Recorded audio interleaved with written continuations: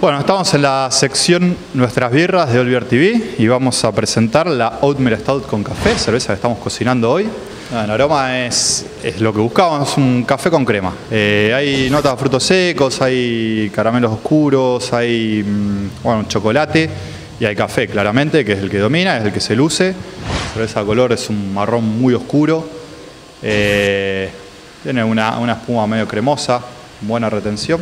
Y en boca lo mismo, súper densa, súper cremosa, muy sedosa, se nota la avena, eh, resalta el café y acompaña esos frutos secos y ese chocolate que queda espectacular. La verdad que muy rica cerveza.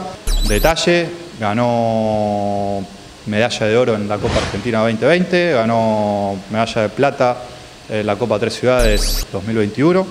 Alcohol, tiene 6,5 de alcohol, una cervecita muy linda para, para disfrutar después de una comida, un postrecito.